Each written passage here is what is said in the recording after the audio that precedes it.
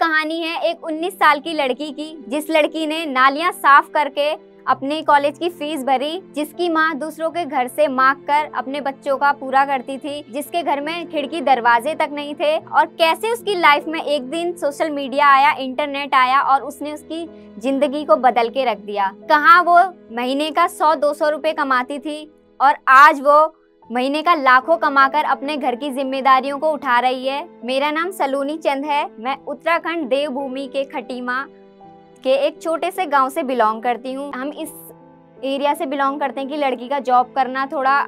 अजीब माना जाता है हमारे गाँव में मनरेगा जो रोजगार होता है वो चलता है तो मैंने उसमें भी काम किया है हमें सुबह से शाम तक काम करना पड़ता था बीच में थोड़ा लंच होता था उसमें हमें दो सौ दस मिलते थे पर डे के उसमें हमें नालियाँ साफ करनी पड़ती थी रोडों में लोग जाते थे बहुत शर्म आती थी नालियाँ साफ करने में